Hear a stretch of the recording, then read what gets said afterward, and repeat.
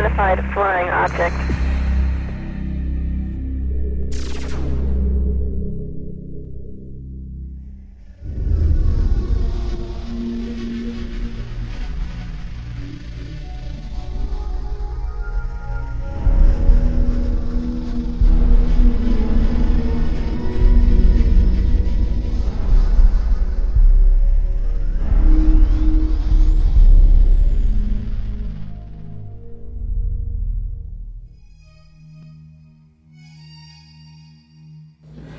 Evening, my fellow Americans.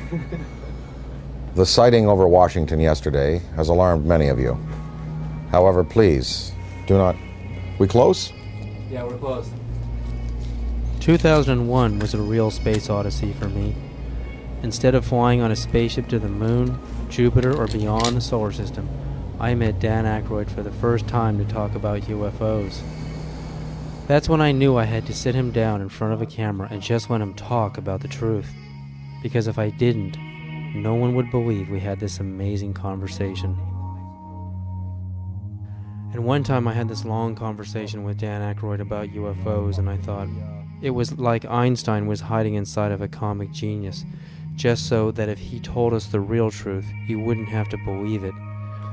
If Einstein had told us UFOs were real, would we have believed him? He never spoke about it. But Dan Aykroyd speaks about UFOs as if he were a full professor on the subject. So Dan, how did you, you know, how did you get started in UFOs? What what sparked your interest? What was the first thing that, that you can remember that happened to you that made you, um, you know, ponder the question? Well, I was born in July 1952. And uh, I guess about uh, maybe when I was eight years old, I found a magazine, a Life magazine, with a picture of the UFOs from that sighting on the cover, uh, with a big inquiry. Uh, you know, what what are these UFOs? And uh, so that kind of started it as a kid, and I asked my parents about it, and you know, they actually you know couldn't tell me what they were because they didn't know. They knew there was some mystery there. Then I saw the day the, the Earth stood still as a, as a kid, and uh, I mean, that was a, a, film that directly related to maybe some of the motives for visitations from other planets. Um, and it certainly seems accurate today if you look at the way mankind in the last hundred years has basically started to turn this planet into a cinder. Uh, three, four holes in the ozone layer because of industrial production around the world, uh, nuclear testing, wars. Uh, I, I'm just sure, just in theory, if there were another species in the universe monitoring us or near us, they would be very interested in what we're doing to this planet, to this planet's atmosphere, and to uh, possibly neighboring bodies. So there would be a, a concern there. And uh, I think that in terms of the extraterrestrial machines that are coming and going, that may be, may be a part of their motivation. We've just had a rash of sightings all over the planet, and we've got Iran and Turkey and Mexico. I mean, it seems like we're being invaded by UFOs. Um, let's talk first just about what's actually happening out there. Well, recently, uh, the most dynamic sighting that we've we've seen, because it's corroborated by an actual government, is the uh, the sighting that took place over Mexico recently, where uh, drug surveillance uh, twin-engine turboprop plane was at altitude uh, taking pictures of possible smuggling routes, and um, they photographed with their infrared cameras 11 uh, unidentified objects. Uh, some of them were in pairs and in threes, and uh, of course, you know, these were objects that couldn't be seen by the naked eye, but were visible on the infrared cameras. Well, the United States Air Force, after the uh, the news appeared in in America, and it was covered on CNN and Fox. The footage was shown on Fox. It was shown on CNN, and in the Valley Daily News on the front page had a big headline, UFOs with a question mark, and it had pictures from that sighting. And of course, the United States Air Force had to respond, and they uh, said it was uh, swamp gas. Uh, so I don't know whether swamp gas is not visible uh, to the naked eye and visible on infrared, whether it comes in multiple balls, whether swamp gas is capable of doing a complete circuit around an aircraft and then taking off at high speed and right angles into the sky. If it is, then maybe it was swamp gas. But uh, somehow, this is, seems to be a legitimate one because the Mexican government uh, decided we want to release this to the world. And this follows on the heels of the, the Belgian general who uh, revealed uh, some F-15 footage years ago uh, of his Air Force planes chasing objects that were uh, exceeding them uh, in speed by, by twice again what, what his planes were going at. the French government, over the last couple of years, has released a comprehensive study on the UFOs. The Soviets have been, uh, since the 1950s, engaged in numerous studies uh, about landings, abductions, uh, and, and, and the sightings. So we do have legitimate government inquiry going on. And in fact, as anyone in the field knows, the United States government for years has been covering uh, this issue um, because they were compelled to cover it because of uh, Ken Arnold's sighting, because of the sighting over Washington in July 52, just after I was born. The famous shot of the, the V-shaped lights over the Capitol and over the Coast Guard station. Um, so the government uh, initiated originally, I believe it was, uh, well, it was there were Project Sign, Project Grudge, the Condon Report, Project Blue Book, and then they engaged uh, J. Allen Hynek. So, uh, you know, the French, Belgian, Mexican, Iranian, and Turkish governments are not the only ones who address this issue. Our good old USA government has, in fact, seen uh, the necessity to put people's fears or concerns at rest and uh, as anybody in the field knows, these studies went on, and, and these uh, studies revealed that you know most of the uh, sightings could be explained through conventional means, uh, as either hoaxes or weather climatic things, uh, climatic things. But many of the sightings were, were unexplained, and so therein is where where lies where lies the mystery in all of this.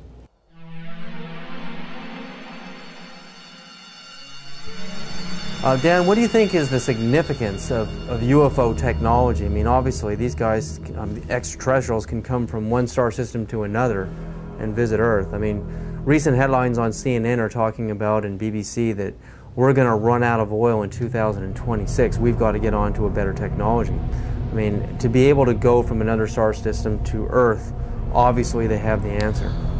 Well, the the presence of these obviously intelligently controlled machines uh, tells us that we are dealing with beings who have uh, anywhere from a thousand to a million to 10 million to a billion years advancement uh, in technology on us. So you've got to figure that.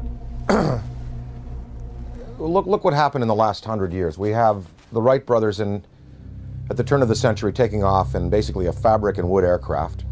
By 1969, we have uh, lunar expeditions.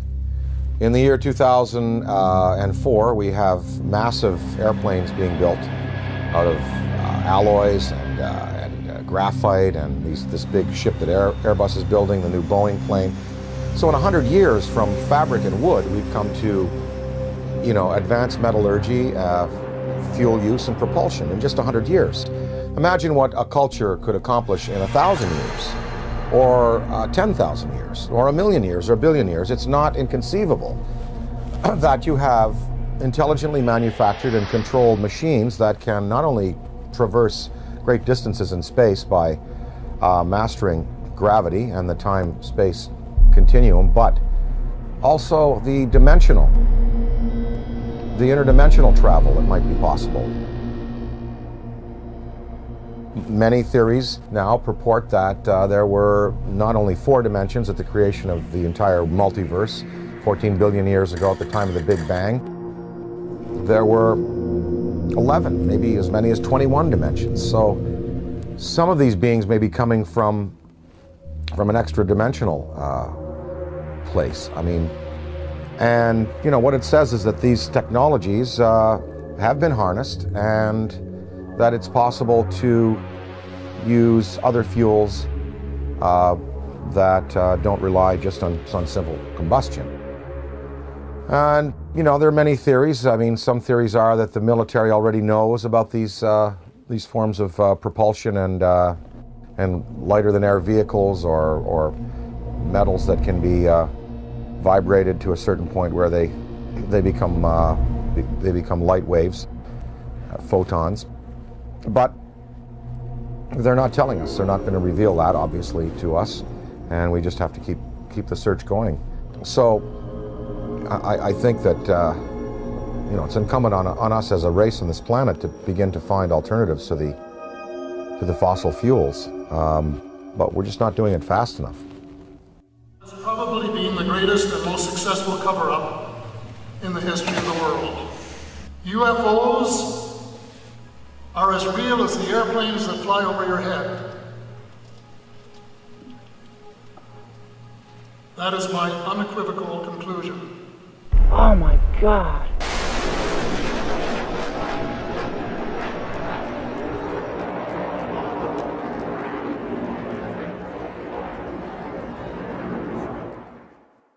The Avro Arrow story, Dan. I mean, you appeared in a movie about the Avro Arrow story. Um, Canada broke the sound barrier. Diefenbaker dismantles the whole uh, aerospace program in Canada, and um, all the engineers are hired by NASA and Boeing down here, and we finally break the sound barrier. But in Canada today, we have another scientist, uh, Canadian scientist John Hutchison, is in using wave induction, using Van de Graaff and Tesla coils and radio on a 75 pound cannonball, we can see this huge cannonball levitating in the air. I mean, um, Boeing, NASA, Lockheed, all of these defense contractors are going up into his lab in Canada and trying to understand how this thing works because the next person or the next country that figures out true anti-gravity propulsion systems um, is going to be is going to be king of aerospace on this planet. The Hutchison effect incorporates radio frequencies, Tesla frequencies, and high electrostatic energy to create a type of levitation effect where it can move a 75 pound cannonball of steel or brass bushings, water, wood, and other objects into the air. Are we doing enough in our universities, in our in our uh, research labs? Are we putting enough money into this kind of a research? And what risks are we willing to take if universities in Beijing and China and, and Russia, they're actually going into the, the UFO phenomenon their universities. But here in America, mainstream science, mainstream physicists laugh at the UFO phenomena. I mean, what do you think about that? Budgets are tight all around the world. And as far as putting money into the study of alternative technologies, of funding, uh, research by people like Hutchinson. Uh, the money is just not there. I mean, if you look at NASA, NASA is getting chopped back um, because uh, the funds that are, are, are, flowing through government now are focused on the war in Iraq and, and other things. So we don't even have the money to keep up conventional uh, space exploration, uh, development of metallurgy, fuels, ion drive systems. So I don't see any government in the next, uh, you know, 10, 20, 30, 40, 50 years really uh, putting the money into uh, the kind of research that's, that's needed to develop these alternative systems and to perhaps study what is driving these intelligent machines from, from somewhere else. Uh, now, of course, that, that's on, the, on the, the visible side of things. we're hearing a lot about these special access programs where congressional money is approved by a very narrow uh, slice of the membership in the legislature and given to the military to do basically carte blanche what they want with. So there could be a black military program that is producing um, what uh, what people are referring to now as the the big black deltas which are these huge black triangles that uh, are being seen all around the world, the big black rectangles, which are also being seen all around the world. So maybe, maybe they look a little like this. The F-117, they look a little like the B, uh, the B-2 bomber. Um, maybe these uh, are special access programs that have been applied to alternative technology and energy and are really practically at work today. But I don't see uh, them revealing you know these uh, the sources of these programs nor their applications right now. Okay, I worked in the U.S. space program for 36 years. I was a contractor employee, first working for McDonnell Douglas and then ending up working for Boeing after McDonnell Douglas was purchased by Boeing. Uh, I started at the end of the Mercury program and then worked the whole Gemini program. And during Gemini, I was responsible for the design of the equipment uh, for the life support system. And so I had a distinct interest in keeping astronauts alive and having successful equipment. Uh, during the program, when uh, we were flying the Gemini spacecraft, uh, my interest in UFOs became very real. It became real because, first of all, Gemini 2, which was unmanned, it was rumored uh, and talked about among our researchers that uh, uh two UFOs had followed Gemini 2. And then uh, Gemini 2 of course, recovered later. And I didn't think too much about that except, yeah, that's kind of funny. Uh, very interesting stuff. And then when Gemini 4 flew, and uh, its four day mission, 66 orbits, with James McDivitt and Ed White, uh, about halfway through the mission, McDivitt said he has something up here with him.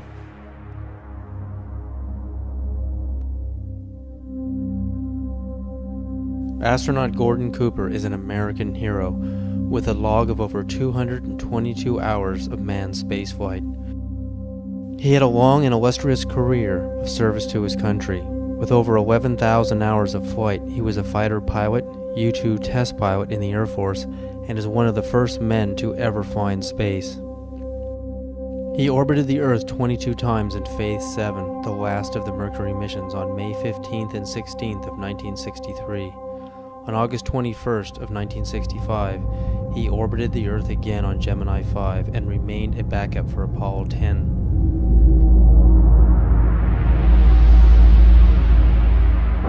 Well, I've, I've had uh, some occasions to know some of the people who were involved in Roswell at one stage or the other. I think there's been an awful lot of untruths put out on Roswell and an awful lot of conjecture. I think there had been some truths and. I think definitely there was something other than weather balloon there.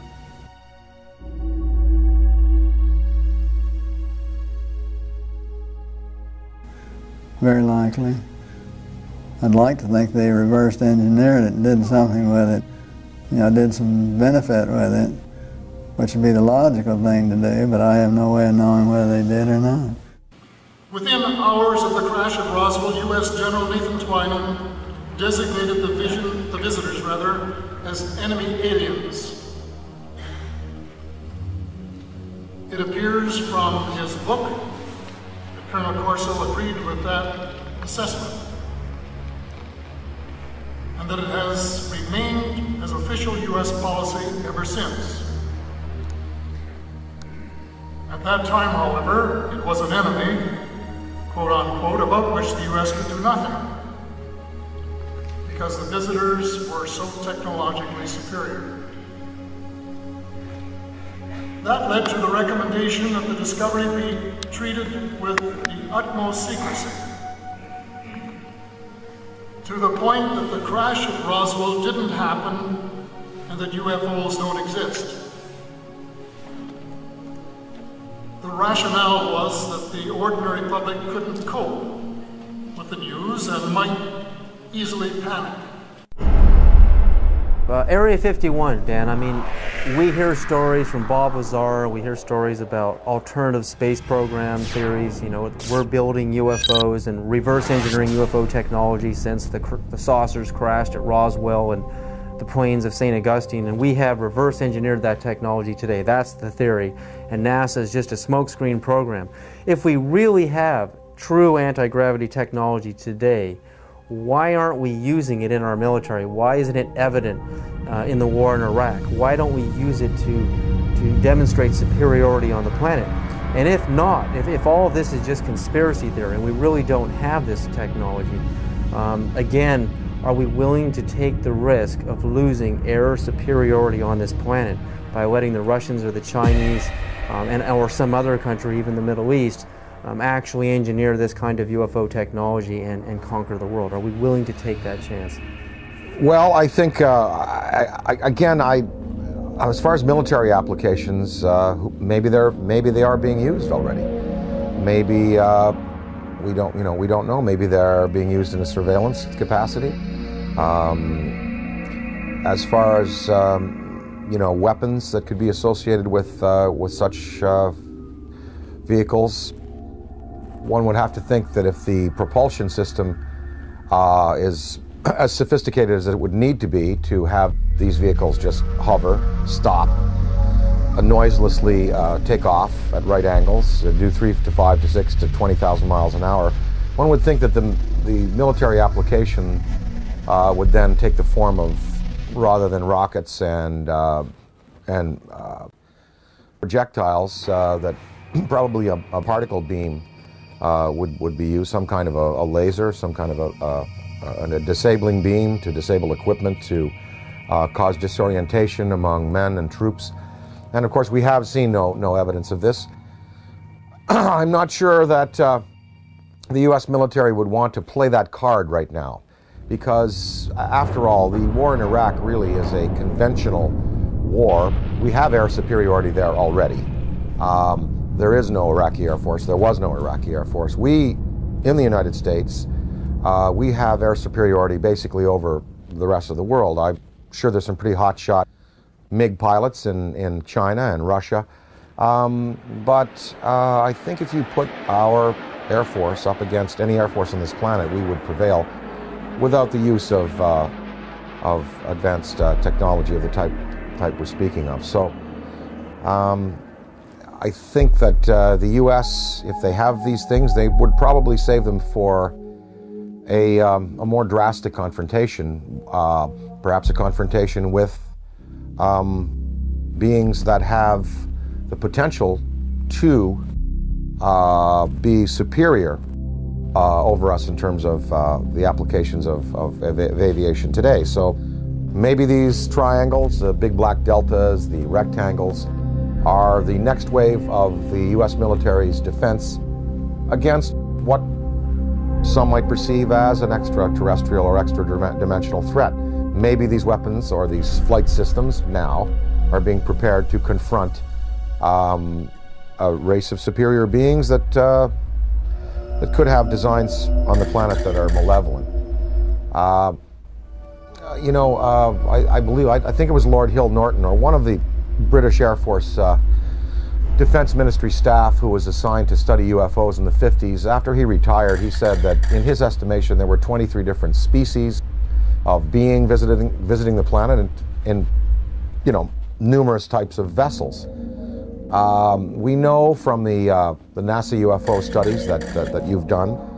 Uh, when I and I think that that theory, you, you know, there's there, there's nothing wrong with that that theory that I that I can see that doesn't point to what, what you postulate, and that is that there are benevolent beings that are trying to heal the planet, hence the, the, the, the size of these ships that we're seeing in the STS uh, cameras, uh, and uh, the fact that the ozone has holes in it, the fact that uh, water could be a healing element there. Uh, what are these, uh, these lifesaver shaped little Dropa stone shaped ships conveying to our planet? Well, you know, uh, we see them coming into the atmosphere and uh, on, the, on the STS tapes and, and other camp forms of, of exposure. They're not releasing personnel, they're not releasing projectiles, and um, no harm has come to the planet, um, you know, through their intervention. So one, one can assume perhaps that maybe there are benevolent beings out there and malevolent beings out there. And maybe the United States government is preparing uh, weapon systems to deal with the malevolent beings. Ronald Reagan said in a speech, he said, What if there were a species from another planet that was threatening us? We would all find a way to work together. And one can only think about the Star Wars system and the fact that there we had uh, satellite mounted cannon. Well, they'd be good for shooting down rockets. They also might be good for shooting down uh, other uh, invasive vehicles that are coming into our, our, our atmosphere. Ronald Reagan himself spoke about a UFO sighting that he had when he was governor of California in the Beech King Air that they used to use. Uh, they were coming from Sacramento. His wife was with him, uh, Sacramento to um, to Los Angeles, and uh, a saucer clocked the the plane for a good 45 minutes. And Reagan uh, spoke of it to to a lot of people. Um, And I think uh, maybe, you know, part of his motivation in getting the, the uh, Star Wars weapon system up might have been that to prepare ourselves for the day when uh, other beings might, might come to this planet with designs of, who knows, taking minerals without authorization, taking people. You know, we, uh, we'll, we're probably just going to have to wait to see. I occasionally think how quickly our differences worldwide would vanish if we were facing an alien threat from outside this world.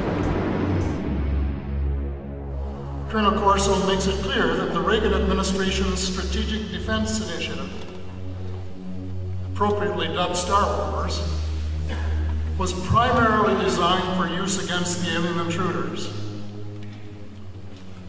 His contemporary successor, the anti-missile missile defense system, is also being designed with that as one of its principal objectives. It is true that a case can be made for attempting to provide a shield against the Russians and Chinese, although everyone knows that the Russians are not going to embark on a policy which res would result in their total destruction.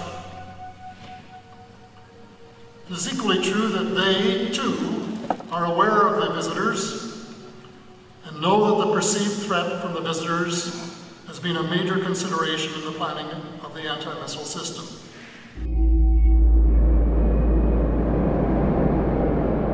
And the incident in question, um, as at least from my perspective, uh, almost ignited uh, a nuclear war, and that was uh, five unidentified objects were uh, picked up on radar coming in over the Pacific Northwest, uh, Northern California, Southern Washington, Oregon area. As these objects approached the coast, Strategic Air Command went on a um, um, alert. we were in a defense condition, or what is referred to as a DEFCON um, Defense Condition 3, which means that the nuclear forces were ready, but they weren't on a ready stated alert. Uh, we elevated that to um, Defense Condition 4. Defense Condition 5 is launch. When we went on our alert, the Russians were also monitoring our nuclear armed forces as we were theirs. And so they knew that our bombers had gone to fail safe. They knew that the launch codes had been given. They also knew that the hatches on the ICBM missiles had been removed and that we were getting ready to do a, uh, a launch. Uh, I know that Nixon, uh, President Richard Milhous Nixon, picked up the phone and called the Kremlin. The White House notified the Kremlin that these objects were not, and I repeat, not a preemptive launch by us, that uh, they too, the Russians, uh, had been tracking these objects as they came in over the Bering Sea.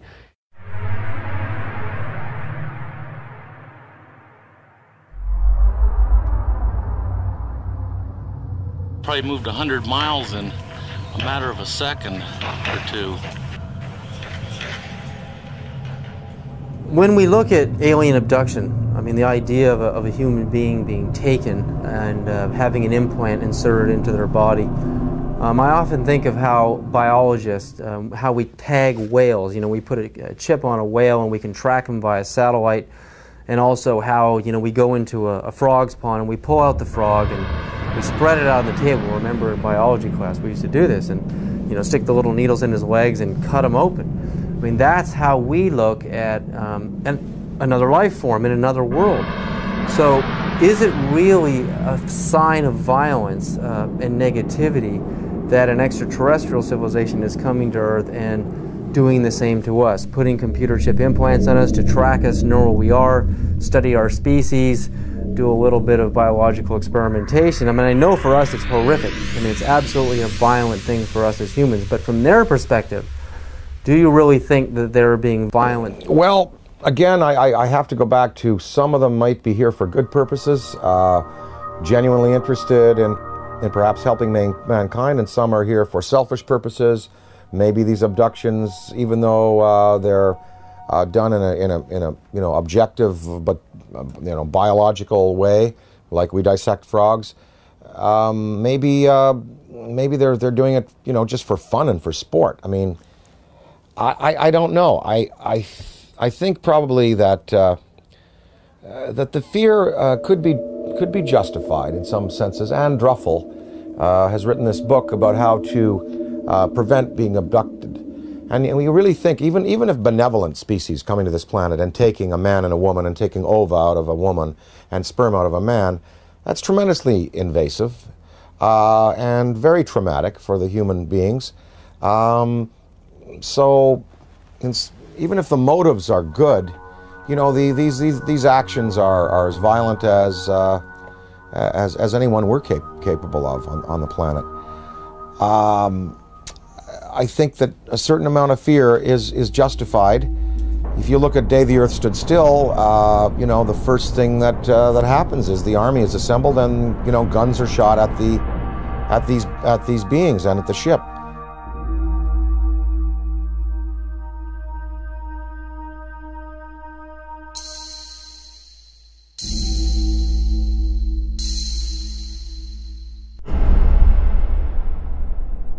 Addressed the question to Dick Cheney because I say the most important question to put to any high-ranking official is not what do you think about UFOs or have you seen one? The, the more, most important question is have you ever been briefed on the subject? Did someone walk in your office and tell you what's going on? Because if someone walks into the president's office or some high-ranking official and briefs him on the subject of UFOs, it is for real. It's not imaginary as the government has been saying for 60 years. So I asked uh, Mr. Cheney, this is three months after he became the vice president, I asked him on the air, and this is still on Diane Rehm's archives, Mr. Cheney, in all your jobs in government, have you ever been briefed on the subject of UFOs? And if so, when was it and what were you told?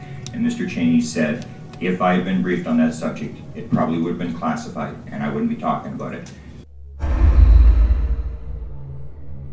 January 22nd, 1997, I noticed three amber orbs now at a distance far west on the horizon. And I'm thinking, wait a minute, even though they're in a line formation, they were amber, they were in a formation, they were hovering for minutes. And as I'm pointing like this, they reappear in the same spot. And I thought, I have to get a picture of this and I ran upstairs. I grabbed my 35 millimeter, get out onto the balcony. As I'm ready to shoot the three bottom orbs, suddenly six amber orbs in a row, totally equidistant from each other, massive span across, pop up. On March 13, 1997, over 10,000 Arizona residents witnessed the single most spectacular UFO sighting in the 20th century. Headlines surged the nation, and Arizona residents demanded answers from military and state officials. A mile wide UFO was seen from as far north as Flagstaff, Arizona, and then the giant triangular UFO hovered above the great city of Phoenix, Arizona, where Dr. Lynne Kitei shot this amazing videotape.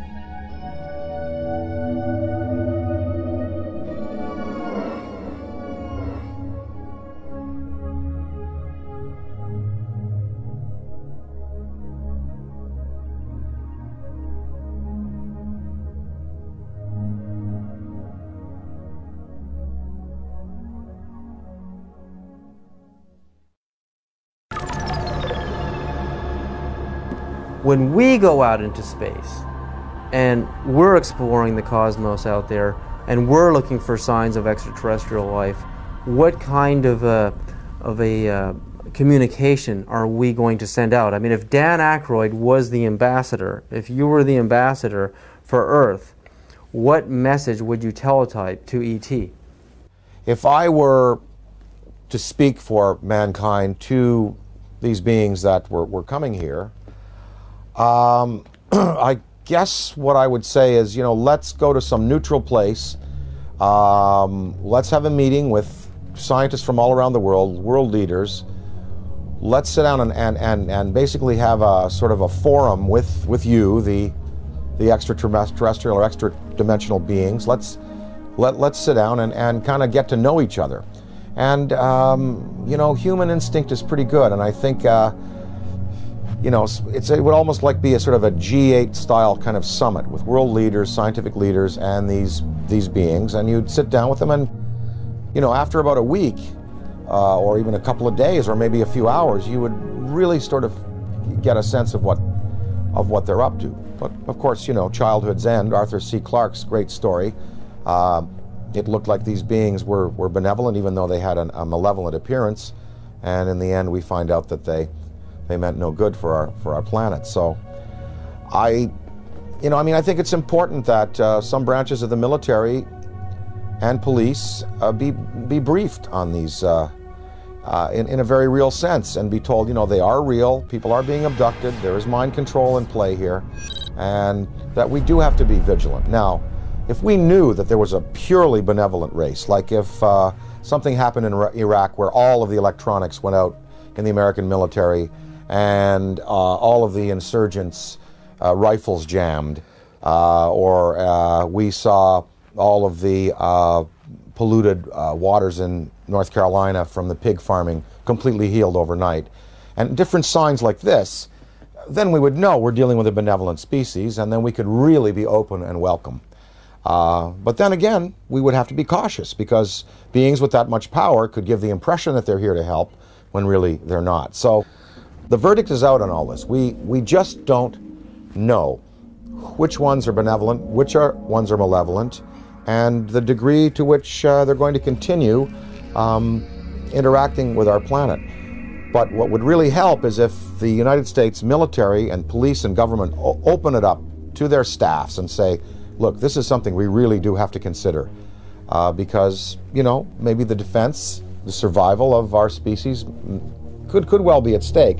If you look at the history, you know, from, say, Ken Arnold's first sighting in 47, going back to the Bible, Ezekiel's wheel, going back to the medieval manifestations of little saucers and, and, and UFOs, that painting of the Madonna that's very famous, uh, in which it appears, up to now, um, there has been no there have been no mass murders by these these beings. There's been no mass destruction of cities, but hundreds of thousands of people have been taken out of their lives, subjected to surgical um, uh, experimentation, released back into the population, and are suffering trauma today for it. That is is not good.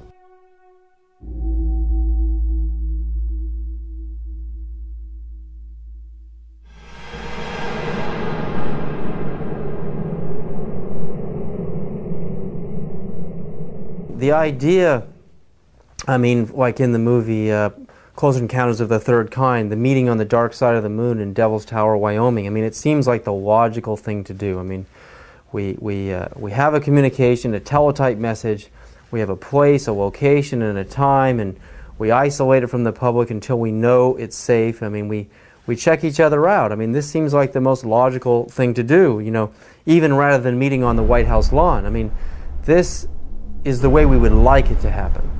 But that doesn't seem to be the way it's really happening. I mean, these extraterrestrials don't seem to be so interested in doing things politically the way we do things on Earth. They're picking certain individuals to contact. They are uh, zeroing in on those individuals. But now, I mean, there are so many sightings going on all over the planet. I mean, uh, it's just amazing. I mean, Iran, Turkey, Mexico, uh, Venice, California um, Sonora, California, Texas, Death Valley. I mean, the reports are coming in every other day now.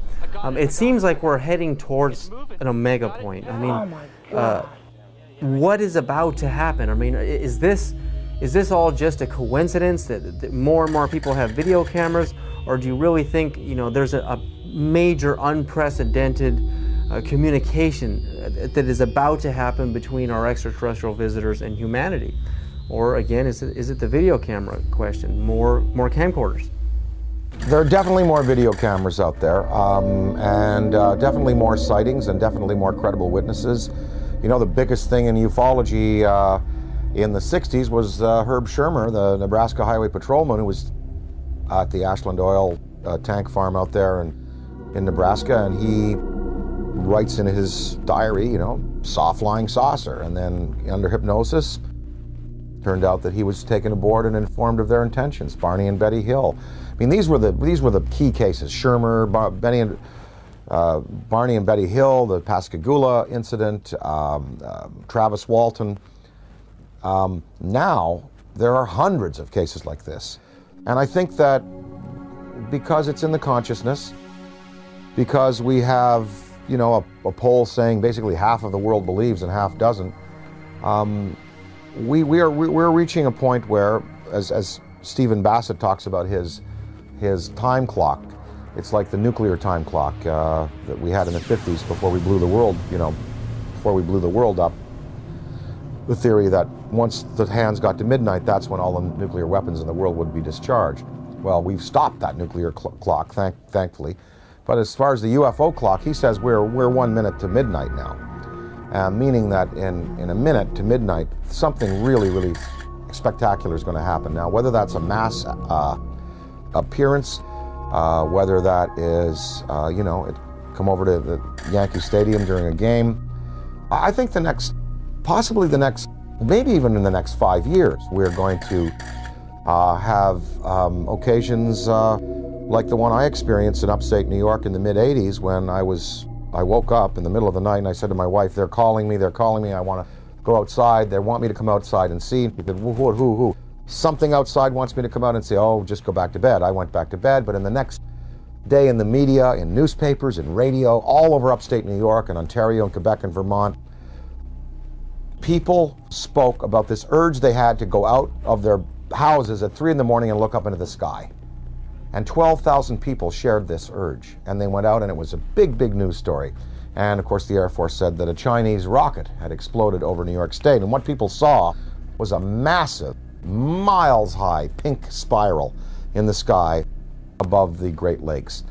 Um, in Hull, Quebec, Canada, uh, a few years afterwards, uh, there was a story of several hundred people, almost a thousand people, in this uh, community, Gatineau, uh, north of Hull, Quebec, Canada, uh, in the in the Quebec province, sharing this urge to come outside and look up into the sky, and they also saw an apparition. So there are going to be more of these uh, these mass sightings, and um, you know, the day that a million people in Idaho at a rock concert or or something see it, that is when you're going to really get the conventional uh, military uh, and police sitting down to say, well, it's time to throw the Brookings Institution report out and uh, and lay it open to the people and let the people decide, you know, what must be done in, in conference with, with, with our state leaders.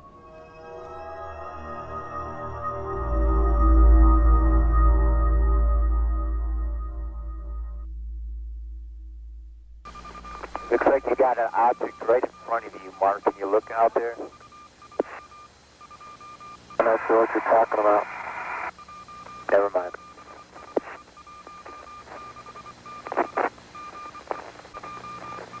Are we missing something? I don't see anything. Yeah, we think the uh, camera filter came off, Mark. It's about your uh, 10 o'clock, 11 o'clock going away. Don't worry about it.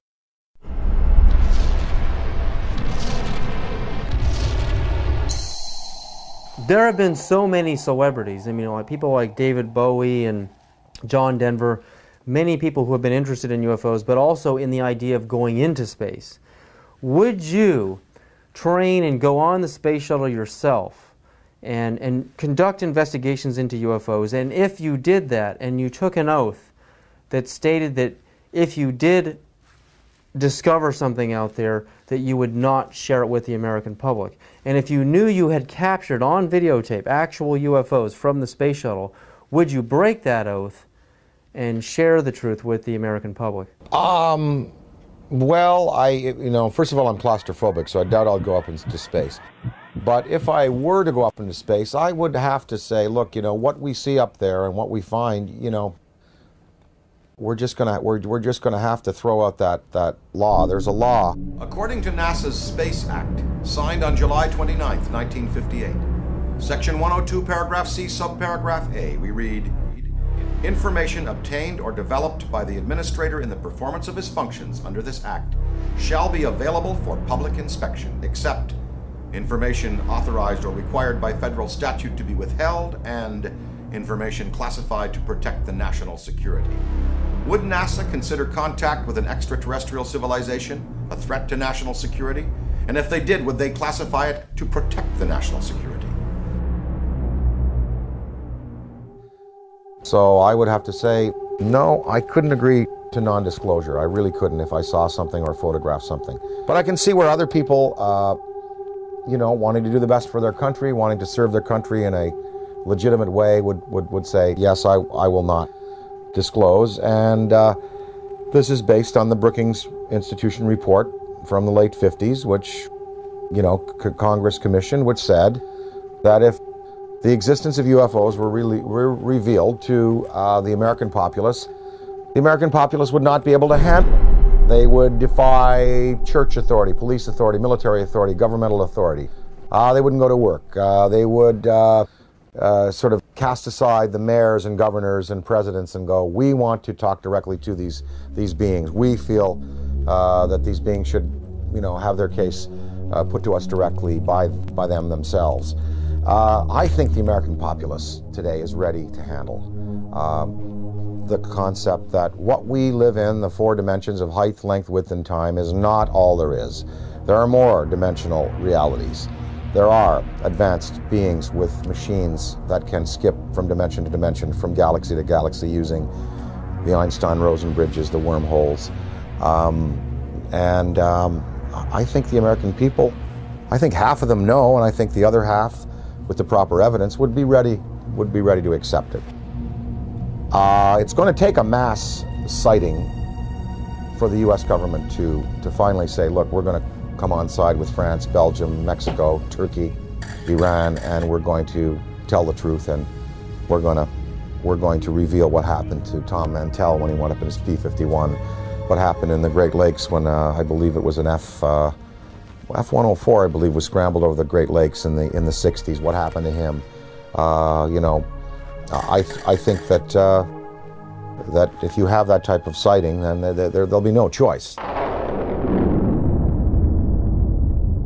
Um, interdimensional travel. I mean, not just traveling through our dimension, but going into alternate dimension, dimensions, Dan. Um, uh, would you, and if you could, a spaceship arrives in your yard, and you know you got you got the barbecue out, and there's the uh, steak on the grill, and, and they want you right now to come with them and go into another dimension, and to move forward and backwards on the timeline, to go forward in time and backward in time. If you could move forward and backward in time, are there any events in human history that you would interfere with, that you would change to alter the destiny and the course of humanity? Well, I wouldn't want to go back in time and change anything because uh, that would be a tampering that I, I wouldn't serve mankind well. Although there are many horrors, of course. Wouldn't you have loved to have caught Hitler uh, as a 15 year old and have him drown in a river? Um, or, um, you know, uh, because then we could have solved the Holocaust problem and then World War II may not have, well, look, there were two guys. There was Otto Dinkel. You ever heard of him? Well, he was an orator hired by the German army, just like Hitler was, to speak. If Hitler died, maybe Otto Dinkel would have been the guy that would have gone on with this rabid anti Semitism and wiped out 9 million people. Um, of course, one thinks of those things, but you don't want to go back in time and play with events because, you know, where we've come to today and the improvements we've made uh, in, in, in, uh, in human rights and in regarding ourselves uh, as sacred, they've come because of the bad things that have happened. Now, if I went into the future, um, I would want to see where this planet is 300 years from now. Did we make it? Did we make it? That's what I would, I would like to know. I mean that from my knowledge of the world that I see around me, I think that it is much more likely that the reports of flying saucers are the result of the known irrational characteristics of terrestrial intelligence rather than the unknown rational efforts of extraterrestrial intelligence. Um, interdimensionality, again, if you could move forward and backward in time and meet any personality, any public figure, celebrity, or politician, or, or mystical figure, um, is there anybody that you would like to sit down with? If, if you could have lunch with them or, or just sit down and, and talk to them and, and have a discussion, forward and backward in time? Oh, I'd love to spend an afternoon with Richard Feynman. Um, would love to sit down with Heisenberg and, uh, of course, you know, Einstein, Niels Bohr, Max Planck, Uh, you know, I'd love to sit with the, you know, the particulate, uh, you know, the quantum physics guys, because there really is is the root of understanding how and why uh, the world is the way it is, and the the, the just the, the the joy of these studies in antimatter that are occurring.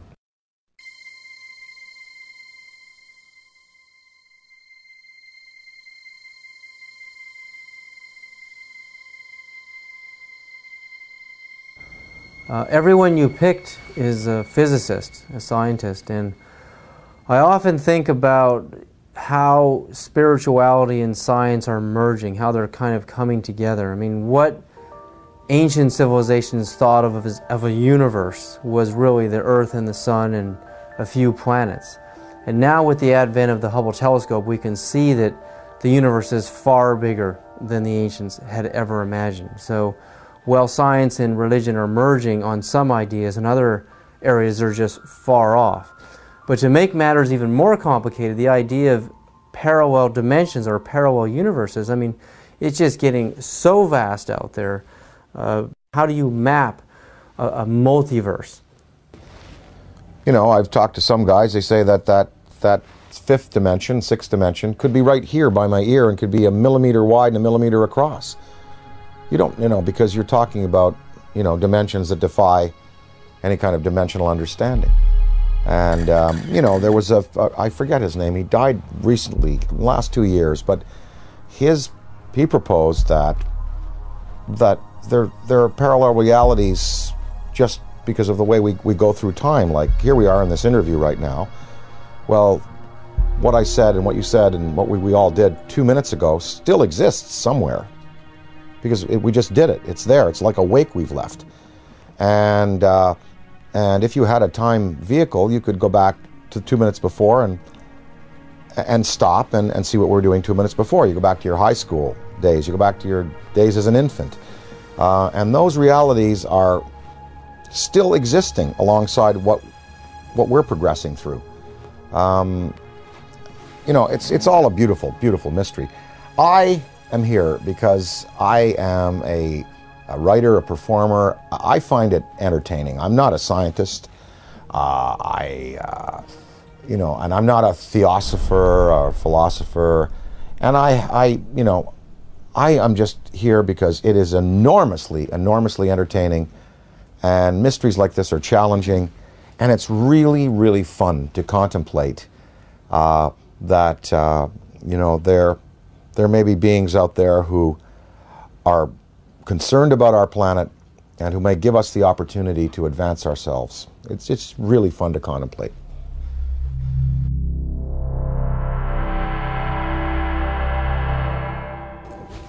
all the physics that we know on this planet, quantum physics uh, and uh, and conventional physics and, and metallurgy and and uh, you know, you know, all of it it can it can really encompass a theory of how these ships move. I mean, you've you've done it yourself, David, uh, proposing you know that when if you can convert you know a mass to a, a state of you know of photonic energy, then there is no uh, there is no mass anymore, and you're, you're looking at pure light. You're looking at anti gravity. You're looking at uh, something that can be you know uh, harnessed in waves. Well, what is the fuel? Well, people you know, Bob Lazar talked about uh, you know this element 115 uh, that was put into uh, these generators uh, to boil mercury and uh, to be used as gravity tractors.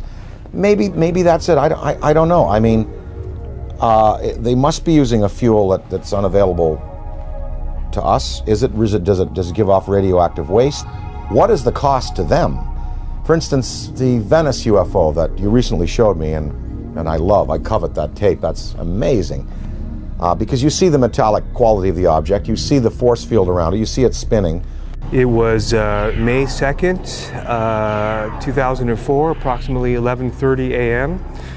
And uh, I was walking from my apartment with my girlfriend down this alley right here. And we were just sort of walking this way, and I looked up uh, over at those phone lines, and we saw something that we really couldn't make sense of. It was a very shiny, you know, uh, metallic disc so we turn the corner here and uh, this is basically where we're just looking at it. And uh, we're pretty much like, uh, okay, that's uh, not a balloon or anything we're familiar with. So uh, we sort of kept walking to the corner and just uh, stared at it for a while and, until it hit me, you know, that this was really something. There was a man also looking at it, sort of a bystander, and he said, wow, do you guys see that? And that's when I realized all three of us were looking at something extraordinary. Well, what is the environmental cost of running these machines. Are they clean or are they not? Is there some, wherever you know they came from, is there some place they have to go back to after their journeys are finished to dump whatever uh, they've used up in terms of fuel, like we would an, a, a, bad fuel rod in a reactor? Um, that that is a, is a question I'd, I'd like to know. I'd like to ask is you know, is you are you a clean burning uh, vessel or is there some cost that, that you pay like we paid for atomic energy? When we consider that it may be possible to take mass and, and reduce it down to zero, make it as light as a photon, um, we can start to uh, approach this whole light speed phenomena from a whole new direction. I mean, we're going to be able to do this. This is this is the only logical answer. There are no fissile nuclear materials in the universe as we know it to produce the kind of energies in a steady stream that you need to get mass up to that speed. There are no fissile nuclear fuels that can produce one trillion electron volts all day long. And, and wormholes, wormholes are even more exotic. The idea of you know, bending and folding two spaces of space-time together and creating a shortcut wormhole to vector in between those two points uh, according to Kip Thorne, who wrote uh, Black Holes and, and, Time Warps, that the energy required for a wormhole is 100 million suns, the energy, the negative energy they put out for an entire year. There are 100 million suns in our galaxy alone. That means all of the negative solar energy coming from our suns in this whole galaxy, the total energy for a whole year is required to create a wormhole. Where is where has any extraterrestrial civilization or our civilization going to get access to levels of energy that high. It's never going to happen.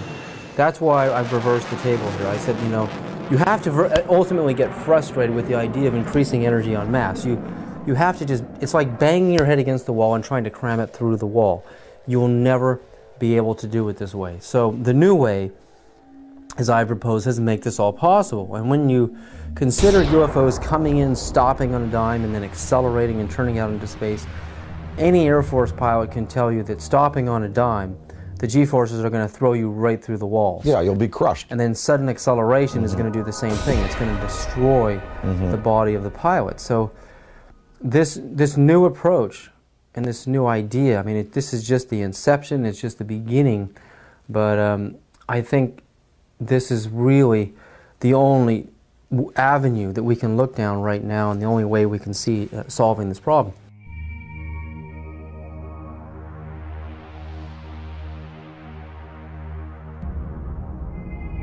While Gordon Cooper was an Air Force pilot stationed in Munich, Germany in 1951 in the 86th Fighter Bomber Group where he flew F-84s and F-86s, Cooper testifies to having chased disc-shaped UFOs that outmaneuvered the most advanced fighter jets of our time.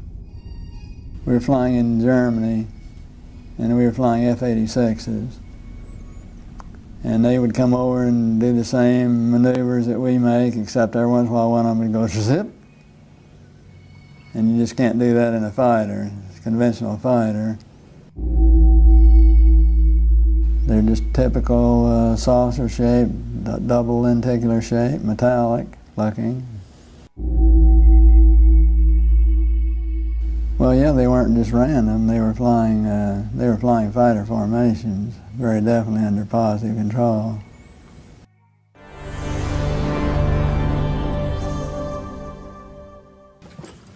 I'm here to announce that the second annual Exopolitics Expo, X Conference 2005, was concluded on Sunday, April 24th.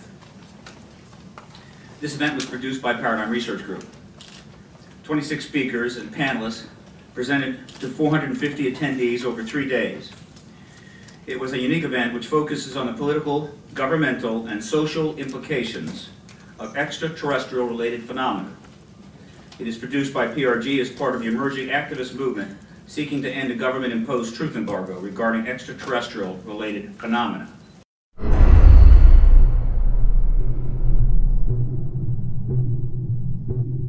Uh, do you believe, um, and, and describe, you know, do you believe that your show was shut down um, for national security reasons? And, and tell, us, tell us a little bit about what happened with the show out there.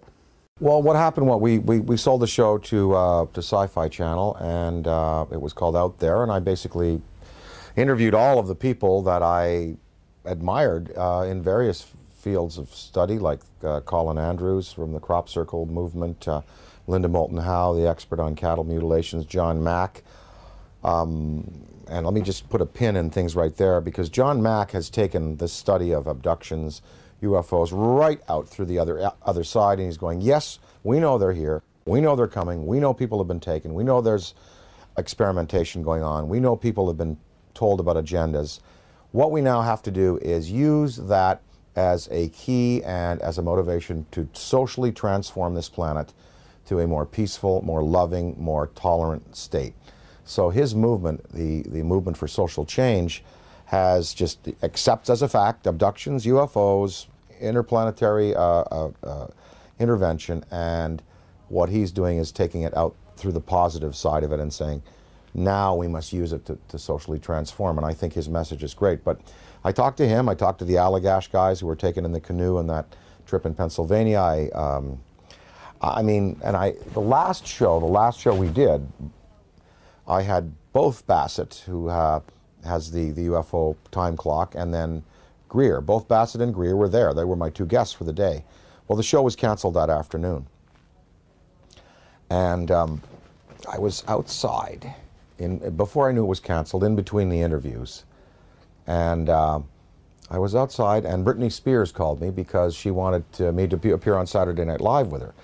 And so I picked. I was outside having a cigarette. The phone rang. Uh, I, I, oh, Britney, how you doing? Oh, sure, of course I will. I turned away like this. I turned back, and there was a black Ford across the road, a black Ford sedan. And I, I, was trying to look at the plate, and the plate seemed kind of like fuzzy. And I was, you know, definitely a police car. And two guys were there, and a big, big, tall guy got out of the back seat, and he stood in the street on um, on 42nd Street. It was. We, we were at 42nd Street and 8th Avenue, and he looked right at me and literally, I mean, I was on the phone. Hey, oh, sure, of course I'd love for the show. Saw the Ford, went back like this, turned back like a half second later, and it was gone. And that car did not go past me. It did not make a U-turn because I would have seen 42nd Street. I would have seen that thing take a U-turn and go away. That car vanished. That car was a cloaked vehicle of some type. And whether this was like a warning to me, because the guy got out of the back seat, gave me a real dirty look. That car vanished. I know what I saw and uh, you know, I, I, it was, it was just this fast. It was, oh, hi, Britney, sure. Oh, of course, I'd love to. Guy gives me a dirty look. Oh, well, sure. Car gone. That's what happened. And uh, then two hours later, uh, we were told we were not to continue taping, and the show was canceled, and none of them would air. I don't know. I mean, I, I, I don't know. Was that uh, was that an MIB experience? You know, black helicopters. Uh, you know, military uh, abductions that happen. Sometimes people are taken and they talk about then being visited by you know military personnel and debriefed about their abduction. Was it, you know, was it a technology associated with some of these beings that are visiting that wanted to warn me off or that wanted to give me verification that I was on the right track? I don't know, but I do know I, I did I did turn back a second later and I, you know, it takes so long for an automobile accelerating from zero to 40 miles an hour to reach the corner of 8th Avenue and 42nd Street going past me, and then pulling a U-turn and going out towards Times Square, I would have seen that car. And I looked around. I mean, I, was looking for that then. It was gone. So, um, I, I don't know. The tapes exist. I have them. We're going to try to repackage them. We might put them out on DVD.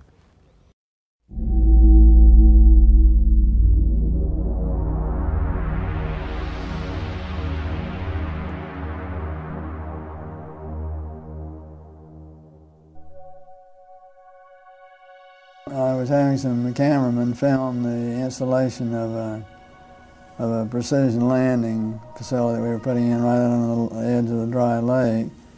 And this saucer flew right over them and put down three little gear and landed out on the dry lake bed. And they went out to, uh, picked up their cameras and moved on out toward him filming. And he lifted off, put the gear back in the well, and climbed out at a very high rate of speed and disappeared. And so while I was uh, going through all the regulation books and finding out the number to call in Washington to report it, uh, I had them go over and develop the film. By the time they got back with the developed film, I was on the higher and higher and higher level officer talking to me. Finally, with the colonel telling me to, uh, you know, when the film arrived at my desk, to put it in the carrier pouch. There would be a courier there at my office by that time already, and, and they'd arranged for him to fly in our base airplane back to Washington with these films and uh, do not run prints, et cetera, et cetera, et cetera. We didn't have a chance to run it. I had a chance to hold it up to the window and look at it. It was certainly a good film. Well, by this time I was involved in the research and development and doing very classified programs myself, you know, at the test center. So I knew that we didn't have any vehicles of that kind, and I was 99 and 9 tenths percent sure that the Russians didn't have any of that type either. So it certainly, there certainly was, at that point in time, there was no doubt in my mind that this vehicle was uh, made at some other place than here on Earth. And yeah, well, Buck Rogers and Flash Gordon coming true. Dude, I got it, man. Probably moved 100 miles in a matter of a second or two.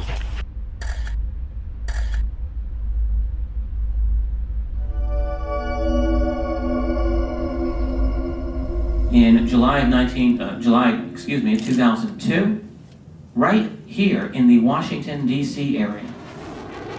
There was yet again a airspace jet chase by two F-16 jet interceptors, charged, uh, which were chasing a bluish object right outside D.C. In fact, we have one of the key eyewitnesses here in this room today. This received some play in the Washington Post and a little bit of mainstream media, then, of course, fell into the black hole of the media, never to be discussed again. What were these objects that were able to outperform F-16 interceptors in a post-9-11 America? What is going on? And what are the consequences or the potential consequences in the event that we should shoot down a few of them? A related question that I have been asking myself is to what extent are they really an enemy? What crimes have they committed against humanity? They have certainly upset the military by flying over their most secret installations, by shadowing their planes, by buzzing their astronauts. The Army shot 1,430 rounds of anti-aircraft fire at the UFO between 3.12 and 4.15 a.m. Army Chief of Staff General George C. Marshall wrote a top-secret memo to President Franklin D. Roosevelt that the U.S. Navy recovered an unidentified craft off the coast of California. The retrieved craft was in fact not earthly and in all probability of interplanetary origin.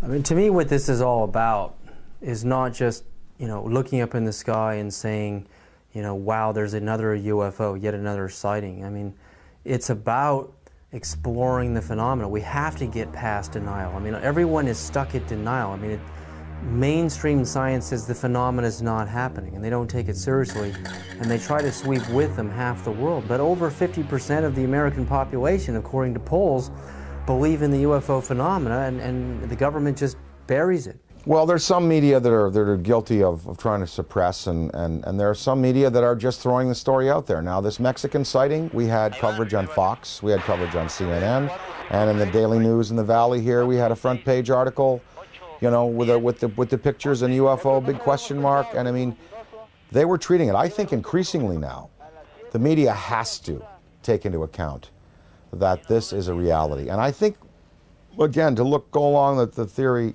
and the feeling that John Mack has, we, we, we, you know, let's get past the debate whether they're here or not. Let's start to analyze who they are, how many of them are there, what kind of systems they're using, what their intentions are to us here on their planet, and can we utilize uh, this knowledge to better ourselves as a species.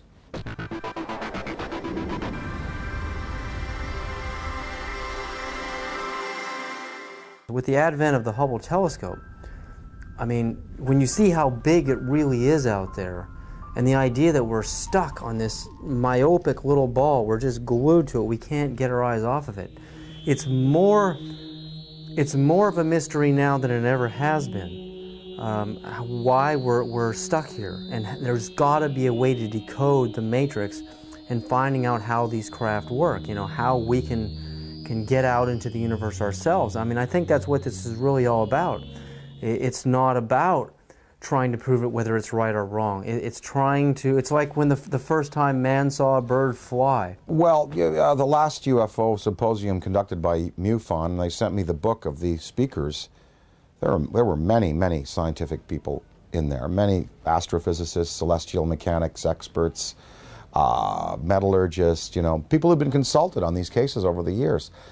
No, I mean, when you have John Callahan, an F- ex-FAA supervisor, saying, yep, they're real. When you have John Schuessler, who was a, uh, a Boeing engineer, uh, now running uh, MUFON, uh, and saying, yep, you know, they're real. When you have, uh, you know, pilots uh, and, and, and, and per personnel in the police and military coming forward in the Rockefeller report and in the disclosure report saying uh, they're real. When you have a Belgian general on television showing you a tape from a fighter uh, which is filming uh, an, an, object escaping at high speed, when you have this Mexican case, uh, you know, I think we can pretty well put it to bed and say, yep, they're here, they're doing things to us, with us, interacting with us. Whether we've had, you know, official military contact, again, that goes into the black box area, uh, but there should be no debate anymore. UFOs exist. They are intelligent, intelligently manufactured and guided uh, technology from somewhere else, not, not this planet.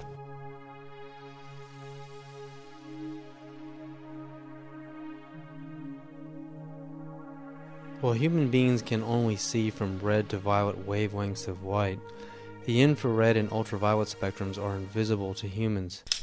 I quickly learned that NASA uses special video cameras that are capable of seeing into these invisible spectra. The tether has broken and is going away from us. Get it on the TV, Claude. Please get it on the TV. After the 12 mile long tether snaps, several days later on an orbital pass, the cameras find something that should not be there. In the NASA STS-75 tether incident of March 1996, we find NASA using ultraviolet light sensitive video cameras. This is where some of the largest UFOs ever caught on videotape have been captured. Huge dish-shaped luminous UFOs swarm the tether. We know the tether is 77 to 100 miles away from the cameras on the shuttle. The UFOs pass behind the 12 mile long tether, so we can therefore use the 12 mile length of the tether to measure their minimum diameters. Some measure between 1 and 3 miles wide, making them literally motherships. In Project Blue Book files, UFOs with these same features have been reported several times as shiny metallic disks with dark centers. Specifically, in the invisible infrared, Trevor James Constable, a retired World War II radar operator from New Zealand, has photographed many UFOs with the same features translucent disks of light with dark centers.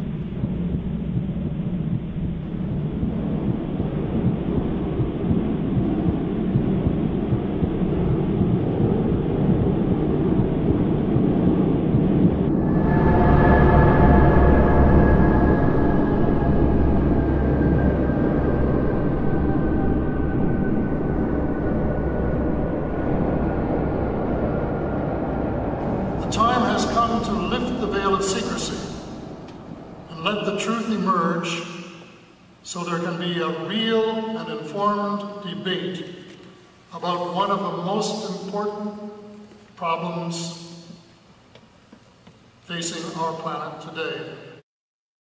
So, how do people respond to Dan Aykroyd when he talks to them on a personal level about UFOs? You know what? It's it's it's interesting. When I talk to people, well, first of all, people ask me about it. They they come to me and they say, "Oh, well, you know, we, we saw an interview, we heard an interview, uh, they heard the thing on Art Bell that we did." Uh, Uh, they come to me and ask me about it. So it's not like I have to go out there and crusade and and say, "Hey, did you hear about the latest Mexican case?" They they've seen CNN, they've seen Fox, they've seen the Daily News they come to me and ask me about it, and I basically lay out, you know, my thoughts on it. I'd say half the people that I speak to about this have either seen themselves, heard about it from a credible, credible witness, or are willing to, to accept. The other half, totally not. Harold Ramis, my good friend and collaborator, does not believe, will not accept until, you know, proof, hard proof is presented to him in the form of, you know, something tangible. And uh, so, uh, what, I, what I've been able to do is just open people's minds a little bit and, uh, and, and let them think about it. And of course, the greatest proof are, are the kinds of tapes that now exist, the kind of videos that, that exist. Um, and uh, usually, when I, when I show some tape uh, of some different things that have been exposed to me, well, that, it's pretty convincing. And then at that point, uh, people have to go away and, and accept that, you know, that, the, that these things are, are, are a part of our, our reality. Well, what I'd like to, you know, what I, what we'd all like to affect is, is some positive change in the world and try to help the, the tipping point where, where good tips to, to overflow evil in the world. I mean, you know, we know there's good and bad out there, yin yang, black, white, um, and uh, you know, it's it's there are, are you know tremendous this tremendous divisiveness in the planet. And, you know, perhaps this study and this, this understanding of things that are greater than we have accomplished technologically uh, will lead us to a spiritual awakening, uh, one that helps us respect other beings out there in the universe and other dimensions and also in our own uh, four dimensions and here in the physical world that we live in. The sacredness of human life, uh, the willingness to get along a little better, to relinquish materialism and territoriality in favor of a more um, comprehensive uh, worldview, which uh, in which we unite and we all feel the energy uh, within us uh, as as part of a uh, part of a universal light. Um, God, gotta thank you, Dan, so much for this interview. I'm very grateful. I really believe you're one of the greatest minds in our world at this time. Thank you so much.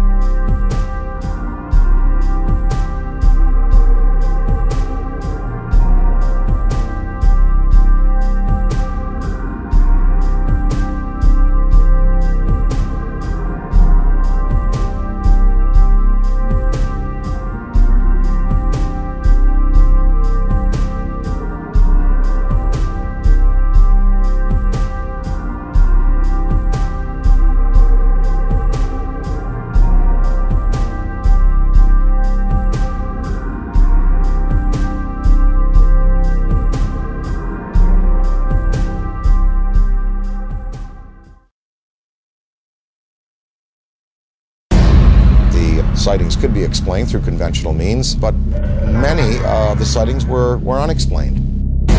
From Dan Aykroyd, a recognized authority on UFOs. People spoke about this urge they had to go out at 3 in the morning and look up into the sky. Three amber orbs now at a distance far west on the horizon. Strategic Air Command went on alert, DEFCON 3, which means that our nuclear forces were ready. I half of the American people, with the proper evidence, would be ready, would be ready to accept. Probably moved 100 miles in a matter of a second. It was a metallic disc. And that's when I realized all three of us were looking at something extraordinary. Five unidentified objects were picked up on radar coming in over the Pacific Northwest. 12,000 people shared these mass sightings. Looks like you got an object right in front of you, Mark. Can you look out there? There should be no debate anymore. UFOs exist. Challenging the misconceptions. They photographed 11 unidentified objects. Discovering the realities. They were hovering for minutes. Of what may be. A Massive, miles high. The most important question. The incident almost ignited a nuclear war. Facing human civilization today. An authoritative inquiry into the UFO phenomenon. We are dealing with beings who have advanced technology on us. Probe the mind of Dan Aykroyd. Dan Aykroyd Unplugged on UFOs.